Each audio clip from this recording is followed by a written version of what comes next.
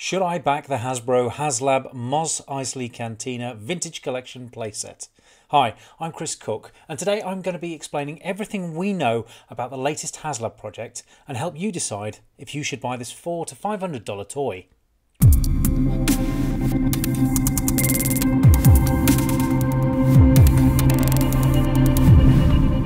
Welcome along. And with only a few days left for you to back this project, I thought I'd get something out there to help me and hopefully you decide whether you want to back the bar. Be sure to stick around to the end of the video as since the project launched there's been a lot of discussion and some confusion about it and I'll be picking through the mess to help you come to a conclusion. So without further ado, let's get into it. The Mos Eisley Cantina is one of the most iconic scenes in Star Wars A New Hope, and indeed the entire saga. It's where our hero Luke Skywalker first gets his taste of what life is like outside of the small town he grew up in. It's where we first meet Han Solo and Chewbacca and get a feel for their characters. It's got shootouts, lightsaber fights, and all manner of weird looking aliens. It's a place that both Kenner and Hasbro have tried to recreate before, but with limited success. For those of you new to this or who haven't come across it before, HasLab is Hasbro's crowdfunding program, originally intended to bring otherwise impossible projects to reality. Previous successful projects have included Jabba's sail barge, Unicron from Transformers, and the Sentinel from Marvel's X Men, amongst many others. The idea is that Hasbro get a minimum number of customers, that's you, to commit to paying for the item ahead of time, about 12 to 15 months in advance, and when it's ready, you'll receive it on your doorstep. Look, we're late in the game here, but so as you know for future, if you are intending to back a HasLab project, doing so early does help the campaign. When these projects pass their initial funding goal, it is far more likely that the other tiers will be unlocked as more people are encouraged that it will be a successful project. If everyone had the mindset of, I'm not backing this until it's fully funded, then nothing would get backed at all. From a risk perspective, Hasbro do not collect your money until the campaign has ended. So that would be the 9th of July this year, and they only collect it if it reaches the minimum 8,000 backers. As I mentioned in my previous video, this HasLab is broken down into a base offering and a deluxe offering. Now, here's a quick reminder of the base offering first. Included is the main entrance and steps down to the cantina, the large horseshoe bar itself, three modular alcoves along the left hand side, archways, a shed load of accessories, and three exclusive carded figures. More on them in a bit. All of these areas have added detail, and in terms of accessories, you will get 8 round tables, 1 large rectangular table, 4 tall stools, 15 short stools, 5 single seat chairs, 4 two seat benches, and eight different types of cups. That's over 100 cups in total. And you'll also get a sticker sheet to personalise your cantina as you see fit. The deluxe pack will allow you to fill out the right hand side of the bar and connect directly to the main cantina, including a fourth wall to enclose the bar. The deluxe version will include everything I mentioned in the base set, plus three additional modular booth sections, five additional short stools, two additional single seat chairs, four additional two seat benches, six additional round tables, and another 20 more cups. We're told that the set will come in classic packaging, and I'm hoping they go for a orangey red fill like the Creature Cantina playset from 1978, but we won't see that revealed until after the campaign has ended. Hasbro have confirmed that there will be one vintage collection styled box for the base version and for the deluxe backers an additional separate plain brown box with just the deluxe items in. In other words, if you're a boxed completist, the deluxe set has everything that you need. In terms of figures, the base offering includes three that are exclusive to this HasLab, and Hasbro have said that they have no plans to release them outside of this set. So if you're a carded and loose collector, you will need to back two cantinas to keep your run going. Wuher is an entirely new sculpt and comes with a blaster accessory, a cup, and an alternate cup holding hand.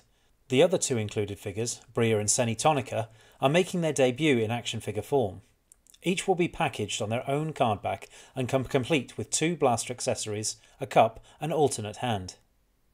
As with most crowdfund projects, this HasLab has several unlocks that are included with the set if the campaign reaches certain milestones. Now, whether you back the base offering or the deluxe offering, you will get all of the figures that are unlocked over the course of the campaign, and they would all be packaged on Vintage Collection card backs. At Tier 1, with a milestone of 11,000 backers, Greedo would also be included in what you get. The figure would be an all new sculpt, come with his blaster and cup, and come on an alternative card back. At Tier 2, with a milestone of 14,000 backers, Nabrun Leids would also be unlocked and included in your set. He features an all new sculpt with his four arms, two special interchangeable mask hoses, one with a shaped S curve so he can enjoy his beverage, and a cup and two blasters. Tier 3 has a milestone of 17,000 backers. Arleil Schous is one of the Wolfmen, would be an all new sculpt and a character debut, and would come with his own blaster and cup. A toy of this size needs characters to populate it, and so far Hasbro have pipelined some characters that won't be included within the set, but will be released in mainline later in the year, with more Tatooine themed items to follow.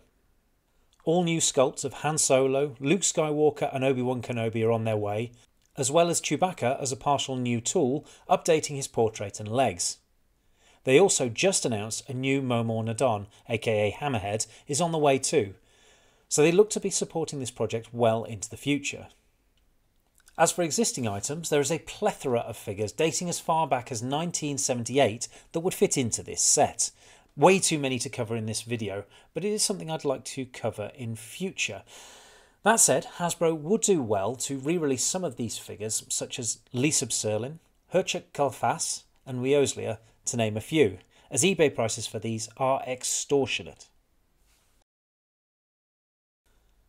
The base offering will cost $399.99, with the deluxe set at $499.99, and it won't be cheaper later. The first HasLab, Jabba's Sail Barge, initially could be backed for $500, it now sells for 3000 This set will not be available at retail stores, so there is no waiting for clearance. It's also worth noting that even if it does reach 17,000 backers and unlocks all the tiers, that's still a relatively low production run, making it one of the rarer production items. Regarding cost, if you're on the fence about this item and have the means to do it, I would suggest backing this project now. The reason being, like I say, these things only go up in value as things go along. So it's going to cost you more to get it down the road if you change your mind. If when it arrives, however, you feel you don't want it, you'd be at least able to make your money back, if not a tidy sum more. As like I say, again, these usually go for more after their initial release once they actually get into collectors' hands. For most, the Hasbro Pulse website will be where you can back this item, and I'll leave a link in the description below. However, for some territories, without Pulse, you may need to refer to a local retailer, in the past, sites like Zavvi have supplied collectors with a pathway to backing, but I'd check some of the Facebook groups and ask in there for your specific country. I asked a few questions at the end of my last video, and some of which have since been answered. My main question was where do the band go? Uh, we recently got the Modal Node 7 pack, and I want somewhere to display them. Hasbro explained in a How to Display Your Cantina video, link below, that this HasLab is based on the London filming set, for which the Cantina band were not present, and there was no stage for them at the pickup shots completed in California either. They suggested that your band will fit perfectly into one of the alcoves. This works for me, and as highlighted by Jedi Ryan Custom 73 on Instagram, this set will also include the missing instrument that didn't come with that Modal Node 7 pack.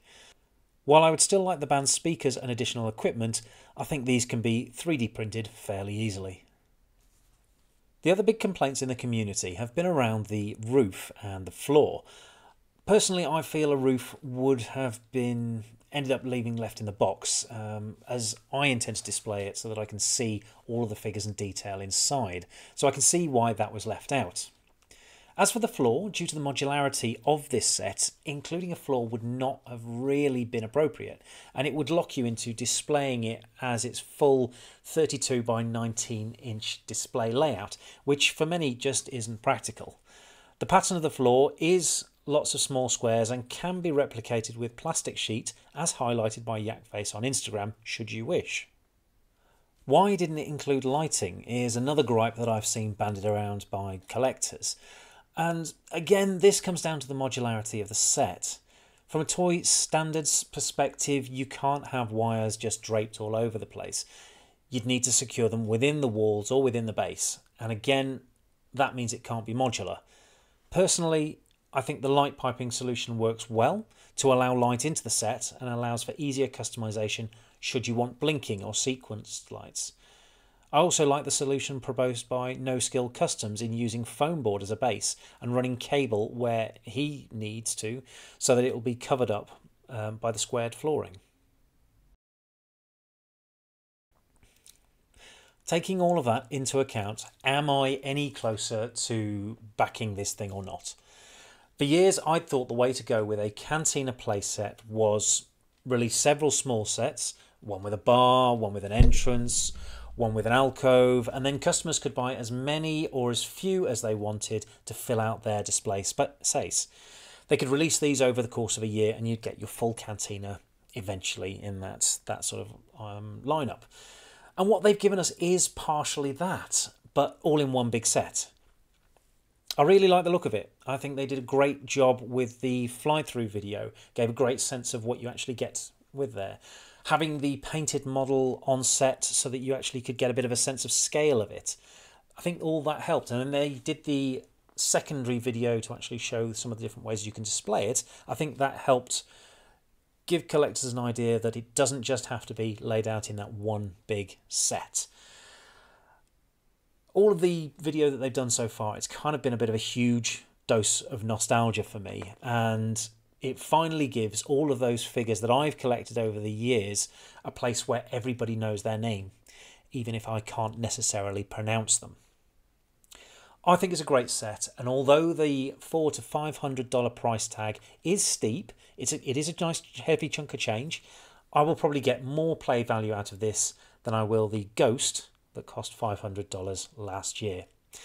I hope it makes it to 8,000. I'm hoping that it makes it to 17,000. We'll have to see. Um, but so I'm going to be backing it at the deluxe level and talking it through in this video has helped me come to that conclusion. Uh, I hope it's had a similar sort of effect for you. Um, if it is something that you're going to go ahead on, the crowdfunding project, as I've said, is live. Uh, it currently stands at about 7,000 backers, so pretty close. We're not far off that 8,000. And the way some of the trajectory is predicting, and so a lot of the people that are tracking it, it does look to be on target to at least unlock Greedo, if not the other two tiers as well. So fingers crossed, let's get it pushed over the line and we can hopefully see this into its uh, full project and look forward to it shipping in the fall of 2025. That's all for now with my thoughts on this project, but I will be back to look at what figures we already have and still need to populate this project. So you know the drill. Like, subscribe and click the notification bell to keep you in the loop. Thank you very much for watching. I hope you've enjoyed this video and that it has helped you in some way. If you are back in the cantina, do drop a comment down below and let me know if you aren't as well. I'm curious to see why that might be. So, uh, what would be needed for you to pull up a chair and back this project? Until next time.